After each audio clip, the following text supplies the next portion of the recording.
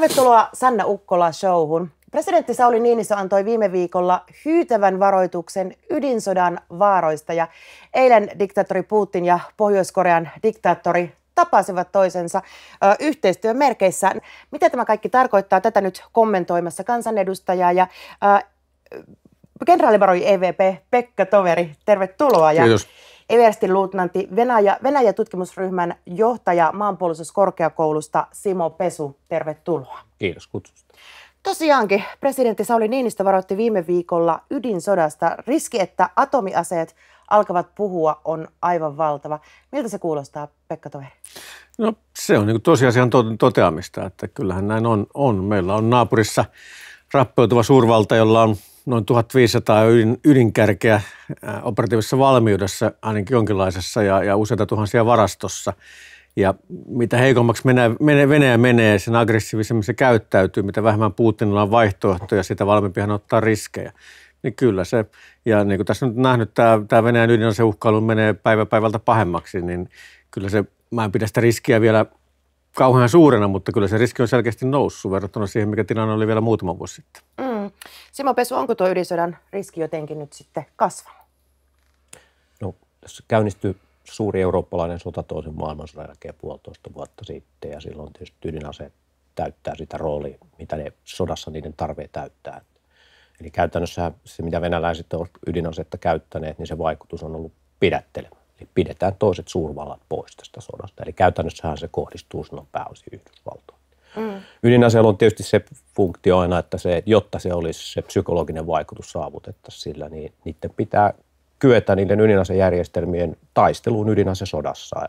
Ja silloin se tietysti se riski on aina todellinen. Näissä valtiojohdot sitä kun pohtii, niin heillähän se on, he ovat vastuussa sillä hetkellä ja tota, he joutuu silloin pohtimaan niitä kysymyksiä sillä vakavuudella. Että pääosin ydinaseen funktiohan on psykologinen, se on tarkoitus pelottaa. Kyllä, se on sen, se se on. on sen, se on sen, mutta yhtä lailla se, jotta sinne voi pelottaa, niin sen on oltava käyttökelpoinen. Ja venäläisillä, venäläiset ovat osoittaneet sitten sitä, että heillä on käyttökelpoinen ydinase myöskin, niin kuin kaikki ydinasevaltiot. Mm. Minkälainen kynnys Putinilla olisi tarttua käyttää ydinasetta, esimerkiksi Ukrainassa? No kyllähän se ensinnäkin tosiaan ky- kynnys länttä vastaan on äärimmäisen suuri, koska si- sitä sotaa ei voi millään tavalla voittaa. Tosiaan keskusteltu tästä Ukrainasta on paljonkin. Mä sun, luulen, että siinä on hyvinkin suuret kynnykset siinäkin. Siinä on, siinä on tosiasia on se, että, että tärkeimmät ydinasevaltioiden niin Yhdysvallat on julkisten arvioiden mukaan niin varoittanut Venäjää, että jos se käyttää ydinasetta Ukrainassa, niin vastaisku konventionaalisilla voimilla tuhotaan Venäjän sodankäyntikyky Ukrainassa. Toinen merkittävä tekijä on se, että Kiina, Venäjän ainoa tuki, merkittävä tukija, jos näin sanotaan, niin, niin tota, on nyt selkeästi ilmoittanut, että, että ydinaseen aseella uhkaamista ei hyväksytä ja sen käyttöä missään nimessä uhata.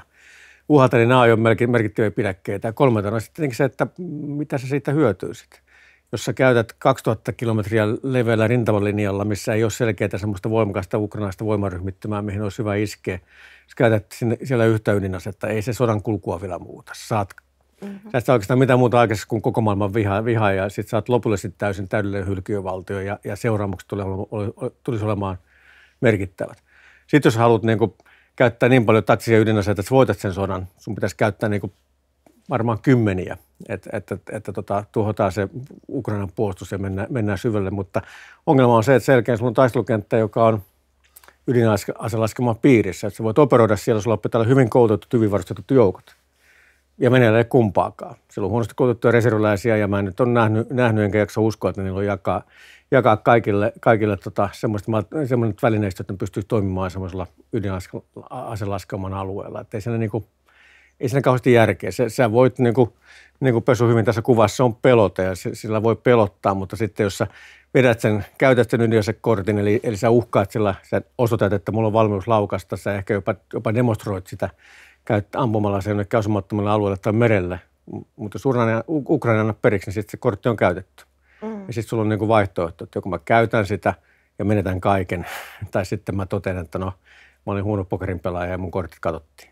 Tietysti se, että kun sillä koko ajan uhkaillaan, niin sekin inflatoituu ja se uhkailu alkaa vähitellen menettää merkityksessä.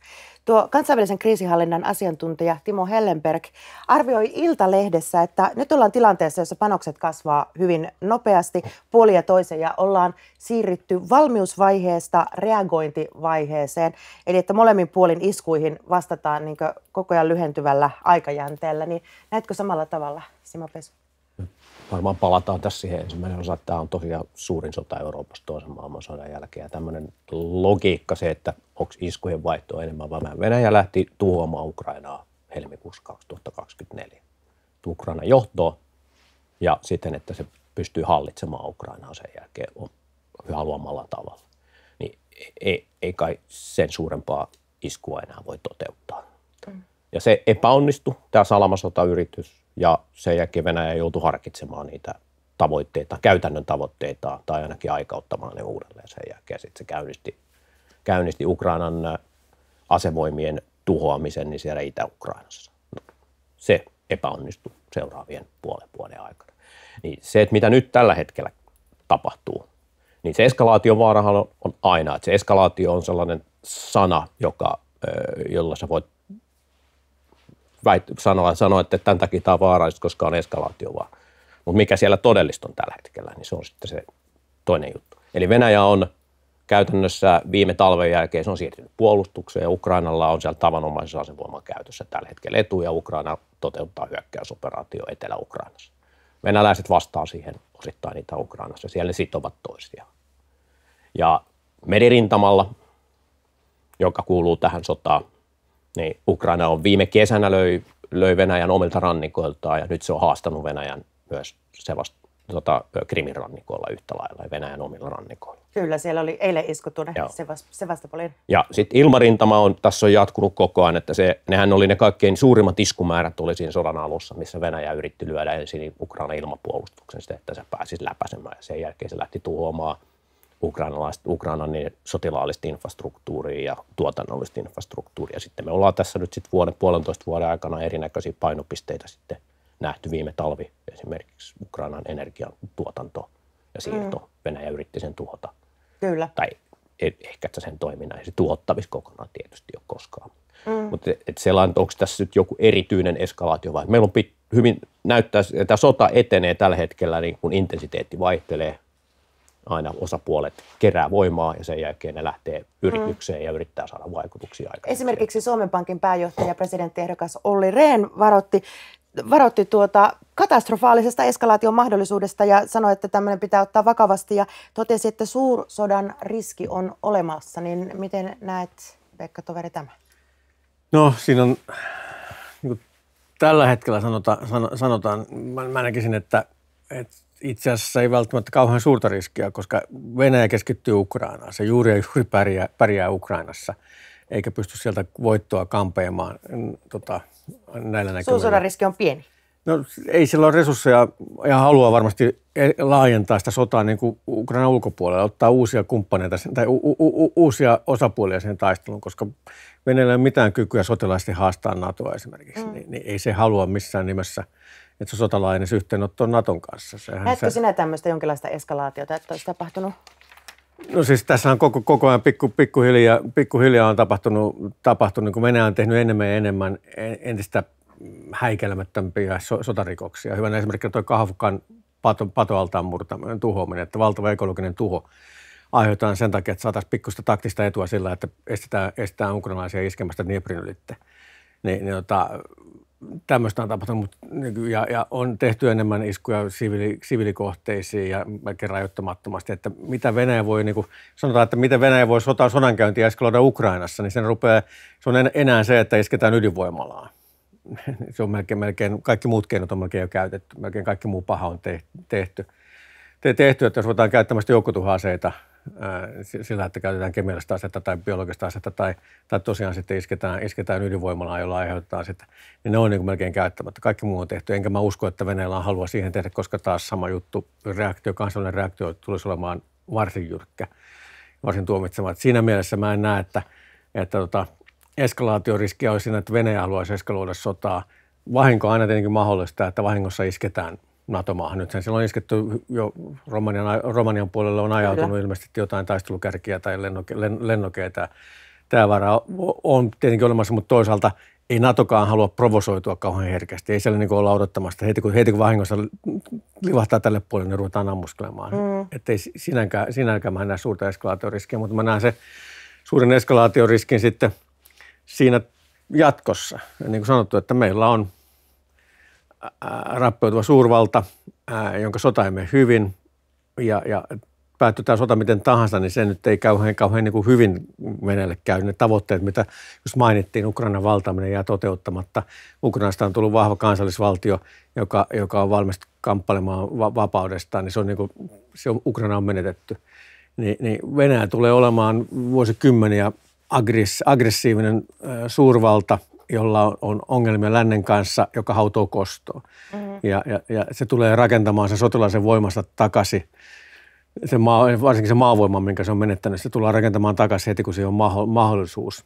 Ja, ja tota, siellä, siellä mun mielestä kytee, kytee se eskalaatioriski, että tota, ei tämä niin tähän jää. Tämä on pitkän aikainen niin. ongelma. Onko tällä minkälaista niin loppua näköpiirissä edes vai voiko tämä jatkuu niin vuosikausia?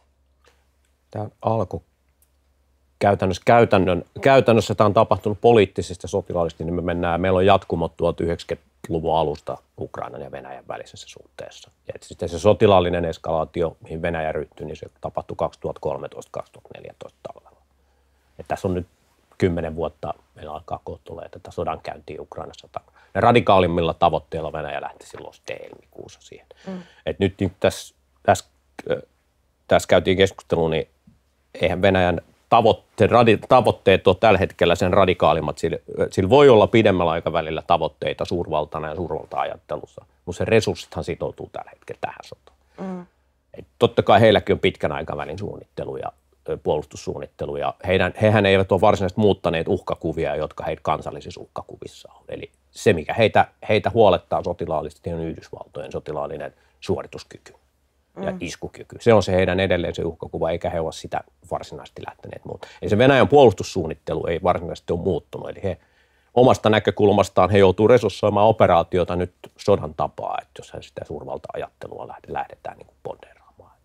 Ja, eli eskalaatio, että se Venäjä jollain lailla olisi asettanut tavoitteita jonkun esimerkiksi Naton, Naton hajottamiseksi tai jotain muuta, niin juu, kyllä se varmaan Venäjän edussa olisi pidemmällä aikavälillä jollakin tasolla – mutta sellaisena, että se nyt jostakin syystä olisi nyt näkyvissä, niin eihän sellaista ole resurssien su- suhteen niin kuin näkyvissä. Ja kyllä tässä on niin kuin, sit mä niin kuin toinen eskalaatiouhka on globaali eskalaatio, että miten täällä Ukrainassa käy, jos, jos me annetaan Venäjän ryöstää 2 prosenttia Ukrainan maapinta-alasta, että todetaan, että, että tämä nyt käy turhan hankalaksi.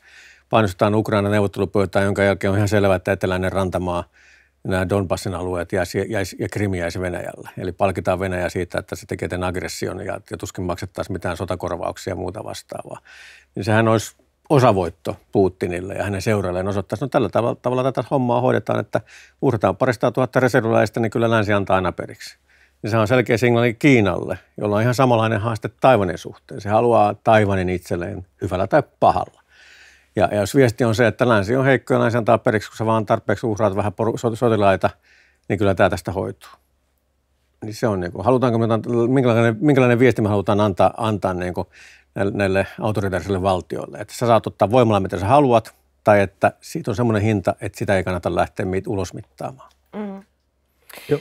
Joo. Siinä on varmaan jos strategiassa, jos lähdet yllätyshyökkäyksessä, on idea, että siinä ei ole mitään pidäkkeitä koskaan, koska se yllätyshyökkäjä on laskenut, että kyllä tämä menee läpi jos ei se yllätys mene läpi, niin ollaan sen jälkeen ollaan kulutuskamppailussa ja rajoitetussa tavoitteissa. Ja silloin tehdään aina voimasuuden laskelmaa, että se, että se, se on väistämätöntä se voimasuuden laskelman teko, niin kuin tässä Ukrainan sodassa tällä hetkellä. Ukrainalaiset, venäläiset, Ukrainaa tukevat joutuu tekemään jatkuvaa voimasuuden laskelmaa siitä, että kuinka, millaisella voima, voimalla tämä asia on hoidettavissa ja viedettävissä tavoissa. Ja se pidättelee sitten sitä sotaa. Et siinä mielessä se eskalaatio tämänkin sodan suhteen, niin – sit on, on vaikea tällä hetkellä nähdä, mm. mutta kuin että se jatkuu vaihtelevalla intensiteetillä. Tietysti Venäjä, Kiina ja Pohjois-Korea ja Iran on lähentyneet nyt, nyt sodan aikana. Puhutaan niin sanotusta uudesta pahan akselista jopa. Ja Putinhan tapasi eilen Pohjois-Korean johtajan äh, tuolla Venäjän kauko-idässä. Niin mikä merkitys tällä, tällä, kun kaksi vaarallisen ydinasemaan diktaattoria tapaa, niin mikä merkitys tällä tapaamisella oli? No kyllä se on, on sinänsä merkittävä, että, että, että tota, se nostaa Korean profiilia. Että Koreahan nyt on kuitenkin ollut, ollut tota, kansainvälinen hylkyvaltio, jolla, jolla eri sanktioilla – YK-sanktioilla muun muassa niin on, on pyritetty hillittämään, hillitsemään sen toimia, toimia. Ja Venäjäkin näihin on virallisesti liittynyt, vaikka käytännössä tiedetään, että se kiertää, kiertää niitä. Ja nyt sitten, että, että Putin suostuu tapaamaan Kimiä ja, ja, ja molemmat vannoo, että tässä, tässä on niin kuin syvän, syvän kumppanuuden alku ja lisätään sotilaallista yhteistyötä niin edespäin, niin edespäin, niin kyllähän se korottaa Kimin profiilia ja Pohjois-Korean profiilia. Onko tämä nolo Venäjälle? No, Tämmöinen hylkiövaltio. No kyllä, mä tässähän kun, kun, kun totta kai Venäjä on, on siellä taustalla Pohjois-Koreaa Koreaa tuke, tuke, tukenut ja heillä jonkinlainen suhde on ollut, mutta tota, kyllä se on aina, että Venäjä on ollut dominoiva. Venäjä on asettanut ne ehdot ja Venäjä on pystynyt sanomaan, että no ei me teille tämmöistä anneta tai ja niin edespäin. Nyt tilanne on toisinpäin, että Putin joutuu pyytämään Kimiltä, että saataisiinko me teiltä sotamateriaalia, saataisiinko me teiltä eräiden tietojen mukaan jopa sotilaita, joita mä oon vähän skeptinen sen suhteen, mutta kuitenkin hän on se, joka pyytää ja, ja Kimi on se, joka päättää, että annetaanko. Niin kyllähän se on, on tota melkoinen, melkoinen asetelman muutos.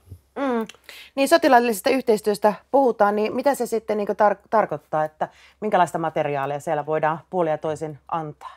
Se on näiden maiden suhdehan on pitkä sieltä Korean sodasta lähtien 50-luvulta, että Neuvostoliitto käytännössä aseisti ja ylläpiti Pohjois-Koreaa siihen asti, kunnes Neuvostoliitto hajosi 90-luvulla ja se sitten johti, eli silloin he käytännössä hyvin tietoisesti irtautu niistä, niistä sen Pohjois-Korean tukemisesta 90-luvulla ja ryhtyi rakentamaan suhdetta Etelä-Koreaan. Se johti Pohjois-Koreassa se katastrofeihin, jossa niin menehtyi enemmän ihmisiä kuin tässä Ukrainan sodassa on menehtynyt viimeisen puolentoista vuoden aikana. Ja yhtä lailla niin se Pohjois-Korean silloin se puolustusteollisuuden ja heidän varustelunsa ylläpidossa, niin tota, he käytännössä joutuivat sitten priorisoimaan sitä aika lailla, että, että sellainen tavanomainen aseistus ja sen rakentaminen, niin se väheni huomattavasti. Mutta Pohjois-Korea nousi, että kykeni muun muassa rakentaa ydinaseen, et, tota, ja sitten he keskittyivät tällaisen ohjusteknologian rakentamiseen. Mutta Venäjähän ei näitä tarvitse Pohjois-Koreasta, että ehkä se sellainen niin kuin tuotannollinen kapasiteetti, mm. tällaisen tavanomaisen aseistuksen ampumatarvikkeet esimerkiksi, niin on se, se mikä sieltä nousee, nousee esiin. Ja sehän ei tätä sotaa varsinaisesti se Venäjän ja Pohjois-Korean välinen yhteistyö niin ratkaise. Et mm. Sillä on mahdollisuus, mm. mahdollisuus nyt jossakin kohtaa mahdollisesti niin kuin tuottaa vähän enemmän materiaalia – ja jatkaa sitä sotaa ja luoda ehkä se jossakin kohtaa sellainen, sellainen mahdollisuus, että Venäjällä on, on enemmän sotatarviketta, että se pystyy su- lähteä offensiiviin jossakin suunnassa mm. siellä itäisessä Ukrainassa. Mutta mut se ei, se ei se tätä sotaa muuta. Ja tuossa niin kuin, niin kuin kenraali tuossa sanoi, niin e, e, kyllähän tässä Venäjän niin kuin statushan tässä laskee, kun se joutuu keskuste- Putin joutuu keskustelemaan Pohjois-Korean johtajan kanssa tasa-arvoisemmasta asemasta. Mutta siinä on tietysti kolmio Iran, Pohjois-Korea, Venäjä, että Iranin ja Pohjois-Korean välinen suhde sotilaallisen ase, asekaupassa ja sotilaallisten teknologien vaihdossa, niin sehän on pitkä. Mm. Johtuen että Iran on vastaavasti ollut sanktioiden alasena 80-luvulta alkaen. Ja sitten vielä Kiina, Kiina on siinä rinnalla. Tota, Onko tästä muodostumassa tämmöinen autoritääristen valtioiden pahan akseli, mistä puhutaan? Kyllä sitä voi tietyssä mielessä äh, sanoa näin, että niin kuin mainittiin, niin tosiaan tämä Irani, Iran, Iranin, Venäjä Pohjois-Korea, niin, niin kyllä se yhteistyö väistämättä näyttää, näyttää niin kuin syvenevän ja, ja, ja materiaalia ja teknologiaa, teknologiaa vaihdetaan enemmän kuin aikaisemmin. Ja, ja tota Venäjä on valmis, valmis tota, entistäkin enemmän o, o, tota, olemaan välittämättä mistään kansainvälisistä sanktioista ja, ja, ja sopimuksesta näiden kahden maan ydinase, muun muassa ydinasekehittämisen suhteen ja niin edespäin. Että kyllä se varmaan suhde syvenee. Suhde syvenee. Miten nämä, voisiko, voiko nämä kaksi maata, Pohjois-Korea ja Venäjä, nyt sitten lähteä jonkinlaiseen ydinaseyhteistyöhön? No, noin Pohjois-Korean ballistiset ohjukset, niin ne käytännössä perustuu neuvostoteknologiaan ja, ja tota, vähän viitteitä, että, että Venäjä olisi jonkin verran sitä teknologiasta tukea antanutkin, mutta ilmeisesti se ydinase on kehitetty kuitenkin pääosin omin voimiin ja läntiset arvioit, Yhdysvallat arvioivat, että heillä olisi Pohjois-Koreassa 30-60 ydinasetta, mutta, mutta pohjois on edelleen ambitioita se, ambitioita, se haluaa tehokkaampia ballistisia ohjuksia. Sillä tällä hetkellä kai maksimikantama on joku 10 000 kilometriä, mikä, mikä millä ulottuu, ulottuu sinne Yhdysvaltojen lainsäädännölle juuri ja juuri alas, Alaskaan, mutta se haluaa sitten tietenkin pidempää kantamaa. Se haluaa sukellusveneeseen sijoitettuja, koska silloin ne on paremmin suojattuja ja, ja, ja tota, helpommin operoitavissa. Niillä on ilmeisesti yksi sukellusvene, jossa jonkinlainen ballistinen ohjus pystytään ampumaan ja on kai kojamuuttukin osoitettu, mutta, mutta tota, se on vielä aika rajoitettu kyky. Mm. Niin, niin sillä on varmasti ambitioita tämän ydinaseessa kehittämisessä ja, ja se on varmaan yksi kysymys, että kuinka pitkälle Venäjä on valmis menemään, kuinka kova, kova neuvottelija Kimi on, että, että, että mitä teknologioita tota, Venäjä joutuu sille antamaan ja tukemaan sen joukkotuhaaseen kehittämisessä, joka ei todellakaan, jolla nyt ei kauheasti ystäviä maailmalle saa. Mm. Toinen, mikä on sitten on tämä satelliitti, satelliittikysymys, että pohjois on yrittänyt saada sotilaista tiedustelusatelliittia taivaalle kaksi, kertaa, kaksi viimeistä laukaisua on mennyt pieleen.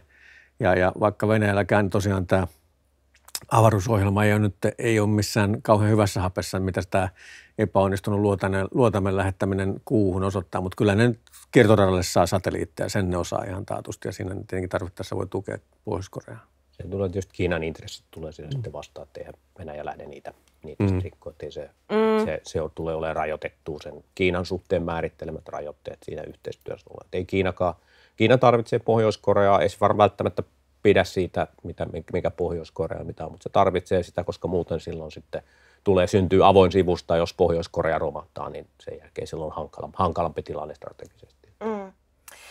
Venäjän asema Mustalla merellä on heikentynyt ja Ukraina teki, eilen uutisoitiin tuhosasta iskusta Venäjän miehittämälle Krimille ja kohteena oli tuo Sevastopolin laivastotukikohta, jossa Ukrainan sotilastiedustelun mukaan isku osui Venäjän maihinnousualukseen ja sukellusveneeseen. Niin minkälaisia vaikutuksia tällä on? No, kyllähän se on taas osoitus siitä, että, että tota Venäjällä on haasteita alueella.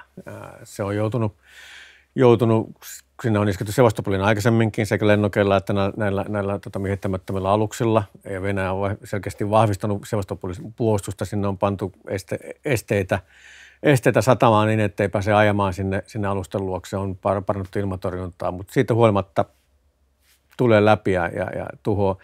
Ja, ja varsinkin, että tuhotaan kiloluokan sukellusvene, jota olisikohan Venäjän Mustameren laivastolla muistaakseni viistä, viidestä seitsemään, josta... Ku, kuusi niitä joo, joo, joo, ja, ja, ja tota, menetetään yksistä arvokkaista sukellusveneistä, joita Venäjällä on kaiken kaikkiaan vain parikymmentä, ja, ja, ja, ja tota. Ei se iso maihinnoussaluskin näyttää olevan siinä niin huonossa hapessa, että ei sitten välttämättä enää, enää mitään saa, ei sittenkään kykyä ole paljon. Ja sinne niin kuin Venäjän Mustameren laivaston sydämeen iske, isketään tällä tavalla, niin kyllähän se voi olla, että Venäjä joutuu toteamaan, että, että sinne Sevastopolin ei enää tukeutua ainakaan arvokkaammalla kalustolla, että jätetään jotain partioalusta ja muuta vastaavaa, jota on enemmän ja on helposti korjattavissa, mutta nämä, nämä alukset, jotka on, joita on vähän ja, ja on suorituskyky kykenevät ampu, ampumaan kalibroihjuksia, niin niitä ei enää uskalla pitää, jolloin se tukeutuminen Petä pitää siirtää, siirtää sinne idemmäs. No tuossa ehkä se, toi on se olennainen muutos, mikä tänä kesänä tässä sodassa on tapahtunut, on se, se on niin kuin strategisen tason muutos, mitä on Mustalla merellä. Eli Venäjähän katkas Ukrainan käytännössä niin kuin ulkomaan, ulkomaan viennin ja tuonnin kokonaan meritse silloin 2022. Et se oli se ensimmäinen toimenpide. Ja Turkki siinä vaiheessa käytti sitä omaa mahdollisuuttaan ja sitten se päätti pysäyttää sitten Venäjän, Venäjän ja asevoimien niin merivoimien liikkeet. Venäjä ei pystynyt tuomaan lisää voimaa, voimaa niin tota, sopimusten perusteella tuonne Mustalle merelle. Ja ukrainalaiset CG kykeni haastamaan venäläiset siellä omalla rannikolla ja työntämään sen Venäjän, Venäjän niin merivoiman pois sieltä. Ja sitten päästiin siihen vilja, viljavientisopimukseen sen jälkeen. Ja nyt Venäjä irtautui siitä viljanvientisopimuksesta, se näki ilmeisesti mahdollisuuden tai mahdollisuuden siinä. Ja sitten sen jälkeen ukrainalaiset haastoivat tämän hyvinkin vahvasti. Eli käytännössähän he julisti, julisti tuossa viimeisen ku, elokuussa niin Venäjän satamat Mustalla merellä niin sota-alueeksi, joka, sit, joka on, kertoo siitä, että Venäjä, se, he käytännössä uhkaavat silloin Venäjän vientiä Mustalla merellä, eli energiavientiä, viljavientiä.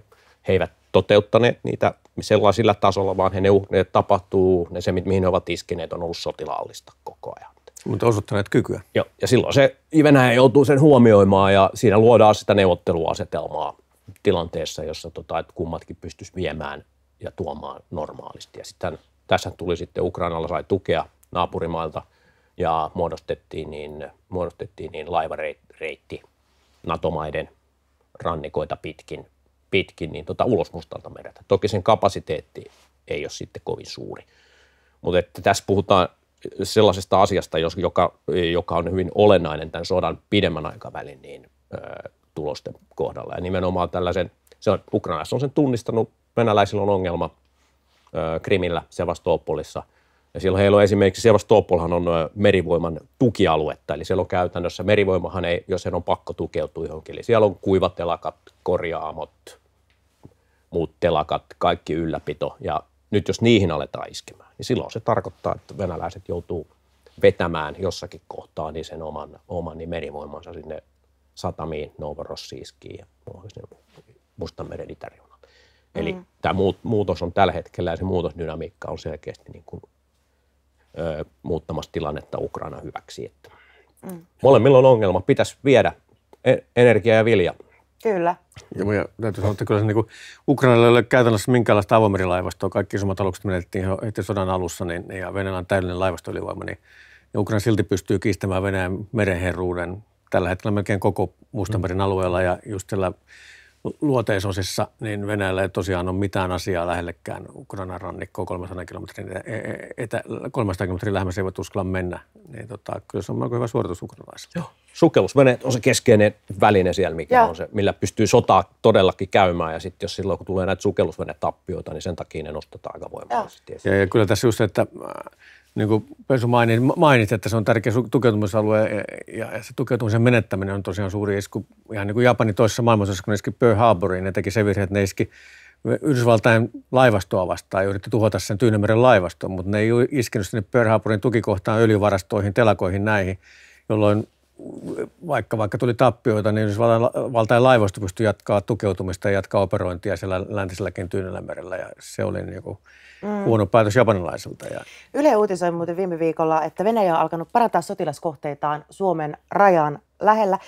Se on pystytetty Alakurtin varuskunta ja Petroskoin kalustovarikolle suuria halleja ja Esimerkiksi tuo Alakurtin varuskunta sijaitsee vain 50 kilometrin päässä Suomen rajasta, niin mitä tämä tarkoittaa, kuinka huolissaan tästä pitäisi olla? No en mä nyt jaksa sitä olla kauhean huolissaan se, että, että Venäjä on 15 vuotta varustanut arktista aluetta siis sotilaisesti varustunut arktista aluetta ja län, on, on länttä edellä läntisten arvoiden mukaan kymmenen vuotta nyt siinä asiassa.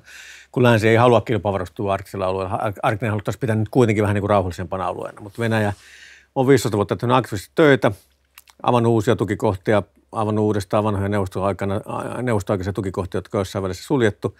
Ja, ja se on Venäjän ambitio on olla vahva arktisella alueella, koska Venäjä näkee, että se on niin kuin heidän tulevaisuudensa kannalta. Siellä on – siellä on tuota energiavaroja, siellä on kaasua, öljyä ja mineraaleja, jotka halutaan, halutaan pitää omassa hallussa. Halutaan pitää se pohjoinen tota, koillisväylä, että tulevaisuudessa, jos sitä tulee todellinen meri, meriväylä, niin se halutaan pitää omassa kontrollissa. Ja venäläisen tapaan tätä kaikkea kontrolloidaan sotilaisella voimalla.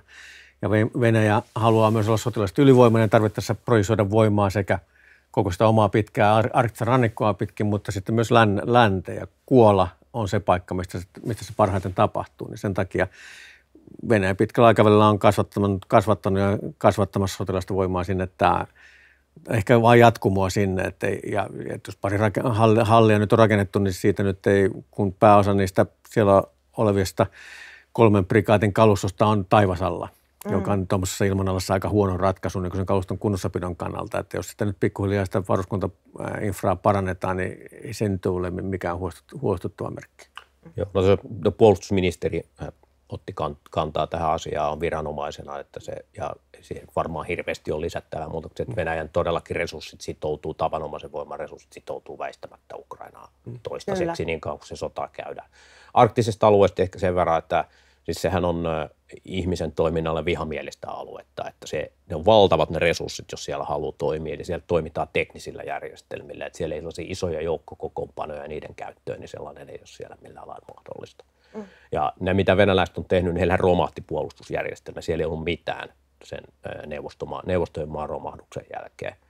se mitä he on tuoneet, he on käytössä ilmapuolustusketjun rakentaneet sinne, ei, jo, jolloin he pystyvät tähän keskeiseen uhkaansa, jonka he, jonka he näkee, näkee, että Yhdysvaltojen iskukyky, tavanomainen iskukyky. Ja tietysti sitten siellä, siihen liittyy se ydinase, ydinasepelotteinen molemminpuolinen hallinta.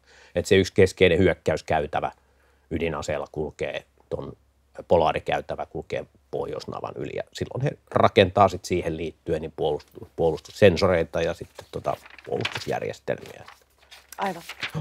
Et ei se Ukrainan sota hallitsee tällä hetkellä sitä, mutta sitten taas kun mennään tähän globaaliin ja paljon mitä aikanaan seuraavina vuosikymmeninä tapahtuu, niin jos ei mm. siellä olisi venäläisillä, ei olisi mitään, niin silloinhan se heidän näkemy- näkökulmastaan sinne voi mennä kuka vaan sinne pohjoiselle rannikolle. Mm. Nyt ei, ei voi. Mutta kymmenien tuhansien kilometrin rannikko, joka on ihmisen toiminnalla vihamielinen, niin se lähivuosikymmenet, niin se on, se on hyvin haastava. Mutta mut se, sen verran, että, että kyllä se pitää silmällä pitää, koska niin pitkällä aikavälillä Venäjällä on ambitiona kasvattaa sotilasta voimaansa, rakentaa se maanvoima uudestaan. Ja mm. Venäjän uhkakuvissa, niin kuin Venäjä nä, toimii kuolessa puolustuksellisesti, mutta se tarkoittaa sitä, että, että kun Venäjä kokonaan se suurvalta, niin kyllä heidän puolustuksensa perustuu siihen, että, että siirretään siirretään omat asejärjestelmät, ilmatorjuntajärjestelmät ja muut vastaavat länteen. Eli otetaan pohjois rannikko haltuun ja parhaat reitit sinne menee Suomeen Ruotsin, Ruotsin kautta. Ihan samat kuvitelmat, mikä Neuvostoliiton aikana, samat suunnitelmat, samoja asioita he on harjoitellut mm. tänäkin päivänä. Ja niin kuin sanottu, että pitkällä aikavälillä he aikoo, ovat sanoneet vahvistamassa puolustustaan Suomen vastaisella rajalla ja lisäämässä joukkojen määrää, että, että se ei tule tapahtuu nopeasti, puhutaan niin kuin vuosikymmenien projektista, ja, mutta kyllä sitä kannattaa niin kuin silmällä pitää, että mitä miten, miten arvioit Pekka Toveri, että kuinka kriittinen tilanne tällä hetkellä on, missä me elämme, verrattuna niin kuin vaikka meidän elinaikaa aikaisemmin? Siis, no, sanotaan, että mä olin 40 vuotta puolustusvoimissa ja en mä koskaan nähnyt näin levotonta aikaa mm. palvelu, palvelusurani aikana kuin nyt, nyt eletään. Toisaalta me ollaan hyvin turvallisessa asemassa. Me ollaan NATO-liittolainen vihdoin viimein osa, osa maailmanhistorian pitkäaikaisesta menestyksekkäintä vahvinta sotilasliittoa. Ja se luo meille turvaa. Ja niin kuin sanottu, Venäjä on kiinni siellä etelässä, mutta että tällä hetkellä me ollaan ihan turvallisessa asemassa, mutta niin kuin sanottu, että tässä on valitettavasti pitkän aikavälin ongelma tämä Venäjä ja Venäjän kehitys, ja sen takia sinne pitää, pitää niin valmiutta yllä ja seurata tilannetta tarkkaan. Hyvä. Kiitos oikein paljon teille herrat ja kiitokset myös katsojille. Me nähdään taas ensi viikon torstaina. Silloin studiossa perussuomalaisten presidenttiehdokas Jussi halla presidentti Tentissä. thank you